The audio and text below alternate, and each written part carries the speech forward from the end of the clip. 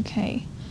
Before we do the exercise, there's another concept here that links to this idea is that management level also needs to keep in mind that there are other, there are ranges in the fixed costs and variable costs.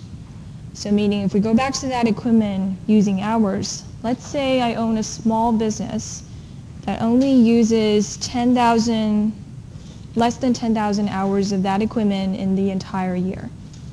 But what if a public traded companies uses heavily on certain equipment more than 12,000 hours and somewhere below 30,000 hours? Then obviously for this small company and this large company, how the maintenance company will charge these two clients will be different. Meaning even though the fixed rate is $72,000 for my company, perhaps a larger company who uses the same equipment more, more heavily used in different seasons will be charged a fixed rate higher than my company because obviously they're using the machine a lot more than my company.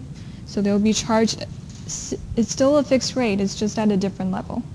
Okay, so what relevant range means is that if your company is expanding to a second level using the equipment or certain types of machines a lot more than before, the fixed cost may jump to a second range.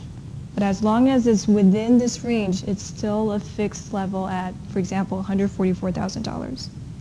But then if your company expands to an even higher level using, they have a lot more requests from customers, they'll be using that equipment or machine for a lot more hours compared to early years, then this fixed rate will be charged to a second relevant range or a third relevant range.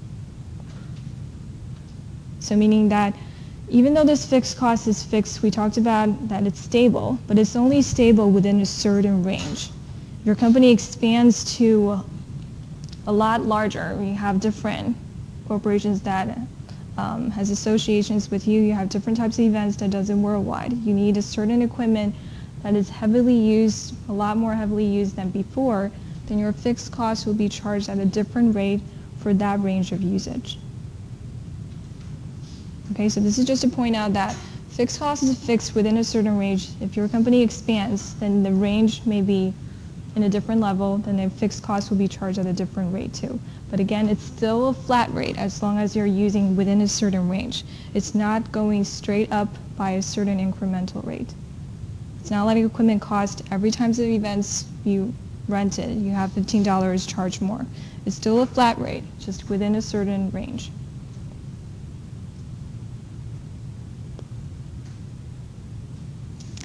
Okay, let's apply all this